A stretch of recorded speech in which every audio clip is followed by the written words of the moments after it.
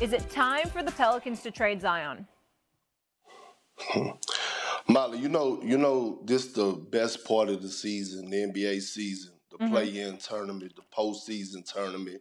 You know, social media is popping, Twitter is popping, your group messages is popping, and I'm in one of my group messages last mm. night, and one of my good chat. brothers, right? Yeah, one of my good brothers put in a group message that his eight-year-old son, my nephew, asked him, told him while they were watching the game, "Hey, Dad, that guy right there looked like he loves to eat McDonald's."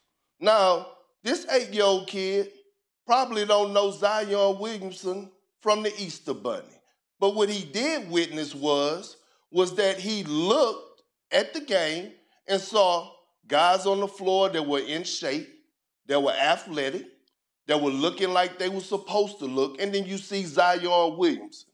So if he saw it, and we see the weight that he's put on, you damn right the organization sees it as well. And when you're dealing with a hamstring injury, okay, because I dealt with one, it doesn't take that damn long to come back. That's the first thing. The second thing is is when you first get injured, two things are to happen. They're go- first thing is they're going to tell you what's the plan, your recovery, your treatment, all that.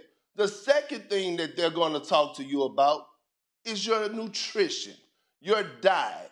And if you're Zion Williamson, I'm pretty sure the organization probably told him time and time again, watch what you eat, make sure you go on a diet so that you could come back and you could recover faster and things of that nature where they have no control over Zion once he leave the uh, trainer, the practice facility.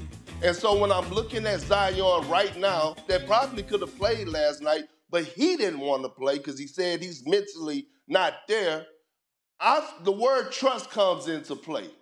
And if I'm in the front office of the New Orleans Pelicans, do I trust this guy to be my franchise player? Do I trust him that I could give him the keys to my car to drive it? And the answer is no. And guess what? If we would have asked a year and a half ago how many teams are out there that would trade for Zion Williamson, it probably would have been 25 to 30. Mm. Now it's probably only about five, meaning that his value is decreasing. So if I'm the Pelicans and I'm going into this offseason, I'm actually looking to trade Zion Williams. Mm. Windy, go ahead. Okay, so Zion has a contract like no other contract in the modern era of the NBA. All right? It is a max contract. He is going to earn a max salary next season. But he has seven weigh ins per year in his contract that he's got to hit a benchmark number to keep that contract being guaranteed into the future. He has six different thresholds of games, uh, games played per season that affect the guarantee of this contract. The New Orleans Pelicans are owned by the same group that owns the uh, Saints. And really, even though David Griffin has full control of this team, when it comes to business decisions, the Pelicans operate like an offshoot of an NFL team. And what Zion has is an NFL contract. And so, and by the way, Zion agreed to that contract within 48 hours of the season of the negotiation window opening last summer. They didn't even fight that hard on all of these clauses. I mean, when you look at these clauses, I'm serious. It's that long on the computer screen, all of the clauses that protect the Pelicans. And they gave him that contract perk because they were afraid of investing in him because of this situation. But the bottom line when it comes down to a trade is this when Zion plays, the Pelicans are contenders. When he hurt that hamstring the first week of January, they were one game out of first place in the Western Conference. Without him, they're home before the playoffs officially start. They can't trade him right now, even with that contract as protection, and get a player back that can make that big a difference. So I think they have protected themselves long term. And Perk, I think the concept of a trade for Zion may be on the horizon. But frankly, they're so much better with him that they don't have much of a choice but to ride it out and try to hope that he can get, with the constraints of this contract, and really, really highly incentivized in this contract into the type of player that they need. Um, First of all, thank y'all both for being on the show. Thank you for looking out for me with that cold open, Kendrick Perkins. Obviously, my voice is still struggling as it was yesterday. Um, not to start any trouble, but you and Kendrick Perkins, you and JJ Redick kind of disagree because according to JJ Redick, he had that hamstring injury in the past, and for some people, it does take a bit longer to heal from. So I just wanted to throw that. I just want you. That's what JJ said yesterday. Molly, you was there. You sit right next Yeah. to me. That's what he said. So I just want to let you know that. shocking news. Perk and Perk JJ don't not agree on disagreeing, something? Not, not disagreeing. News. Not agreeing on something, but I just want to let you know that. So let's get that out the way. Okay? Perk, I hear where you're coming from because I got to tell you something. You know, there was another star player, actually a superstar, that ended up being a four time champion. His name was Shaquille O'Neal. He was also addicted to McDonald's. That brother loved himself some Big Macs. It's one of the things that irritated the hell out of Kobe Bryant. He loved himself some Big Macs. It drove Kobe crazy. But that's a different subject for another day because unlike, unlike Zion, Shaq was on the court and being the dominant force that we all expected him to be. Zion is not doing that. That is the difference. Um, he can look, and, and the fact that you quickly agreed to a contract like Windy just highlighted that stipulated weight clauses in it should show you and you should embrace that as an indictment against you. It's not quite as bad as what Kyler Murray purportedly capitulated to with the Arizona Cardinals in the National Football League, but it's pretty damn close. When they got to put weight clauses in your contract, they got to find some way to hold you accountable because they don't trust that you are going to be self accountable. So that's something for Zion to look at when he looks in the mirror. The Western Conference playoffs look to be rounding into form with Minnesota and Oklahoma City fighting for that eighth and final playoff spot tomorrow night. The rest of the matchups are set as the Warriors begin their repeat campaign against the Kings and the Grizzlies take on the Lakers and the Phoenix Suns matchup with the Clippers. Windy, which team goes the furthest?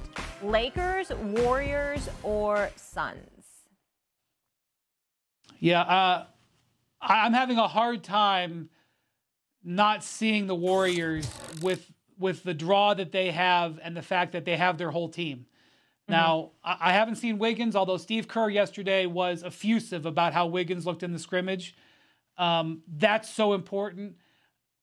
Clay has been playing great. Steph, Steph, obviously his resume is unimpeachable. He killed the, the, the Kings in the regular season. He shot 58% against them. They're not a strong defensive team. He kills them. Um, I- acknowledge that the Suns, I've spent a ton of time around the Suns this year. I will be on a plane for Phoenix this weekend. I'm a believer that the Suns could make this happen, but the Warriors are more complete. And I I can't dismiss 11 and 30 on the road.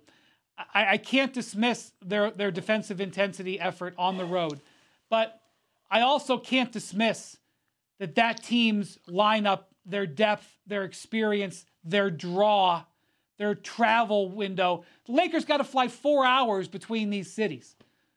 The the, the, the Warriors got to go 90 minutes. I mean, I'm having a hard time not looking at the Warriors as having the inside track, to be honest. I'm going with the Los Angeles Lakers. I said that a couple of days ago, and I'm know. standing by it. When I look at when I look at Anthony Davis, okay, when I look at a guy, I believe he was 16th or 17th this year in scoring, number one in rebounding, I believe number four or five in block shots. See, here's the thing about AD, and I said this on this show. When LeBron James went out, I said Anthony Davis has a golden opportunity to change the narrative about himself and enter the same conversation again with likes of Giannis, Jokic, and Embiid. And he has done just that. Okay, and when you have this Anthony Davis that's affecting both ends of the floor, he has been the best player in the Western Conference the second part of the season. That's why he just got Western Conference Player of the Month because he's been balling out of control. And when you have a LeBron James, especially LeBron James that we've been seeing since he came back since the ankle injury, that is a problem. And again, iron sharpens iron. When you have a guy like D'Angelo Russell that struggled in the play-in tournament like he did, and you're Darvin Ham, and you can look down the bench and say, hey, Dennis Schroeder, come on here, bro. I'm going to ride with you from the middle of the third all the way through OT. and he helped be that third option, then you know you got something because you need depth. When you can roll with Rui Hachimura and leave Jarred Vanderbilt on the bench, that means you got depth. When you have a guy like Malik Beasley that's coming in off the bench that could light you up for 20, you have depth. That's what the Lakers have. They have one of the top duos in the league in LeBron James and Anthony Davis. They're going against a Memphis Grizzlies team that is missing Steven Adams and Brandon Clarke that are huge pieces for them. So when I look at their road to get to it and the way that they're playing, I'm going with the Los Angeles Lakers. Well, you keep on going on with them, my brother right on down the hill, okay? Because they're going down. All right, now, now, now, now, I, I, I believe Memphis is going to beat them because I believe Memphis is the better team. But it wouldn't surprise me if the Lakers pull that off. And certainly, I'm not mad because you all know I would rather be in Southern California than Memphis, Tennessee even though I'm not throwing any shade on Memphis. Nice city. It's just that they got to remember that Elvis is dead and move on, okay? But Southern California is lovely. Now, let me say this. Now, let me say this. It's important. Listen, there's billboards up of Elvis. I'm not lying. I'm not exaggerating. Y'all been to Memphis. There's still billboards of Elvis. He, they got to stop. They really, really do. Now, let's move on. The Golden State Warriors are an entirely different matter, Kendrick Perkins. And so are the Phoenix Suns. I can't listen. When I think about KD and Devin Booker, Lord have mercy. The point guard that is CP3. I'm not dismissing that. DeAndre Ayton is not a scrub.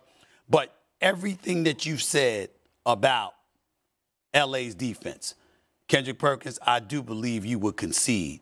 There ain't a damn soul on the Los Angeles Lakers that got an answer for Kevin Durant. I think you know better than that. Ain't a damn soul on the Lakers that got an answer for Kevin Durant and Devin Booker's going to get his too. But let me go to the Golden State Warriors because they were my preseason pick, obviously. Lost a lot of faith in them with the injuries, with their inability to win on the road.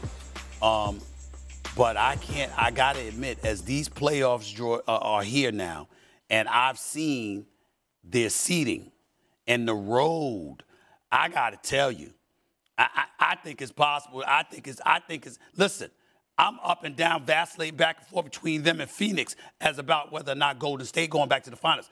I'm not even considering anybody else anymore. It comes down to me because of their draw between Golden State and Phoenix. I'm not considering the Lakers anymore. I'm not considering the Clippers. I'm not considering Denver, no disrespect. I'm not, I'm not considering any of them knocking off Phoenix and Golden State. And I'm leaning more towards Golden State than Phoenix because I love the fact that they're all back together. That's how I feel about it right now, bro. I can't front. Thanks for watching ESPN on YouTube. For live streaming sports and premium content, subscribe to ESPN Plus.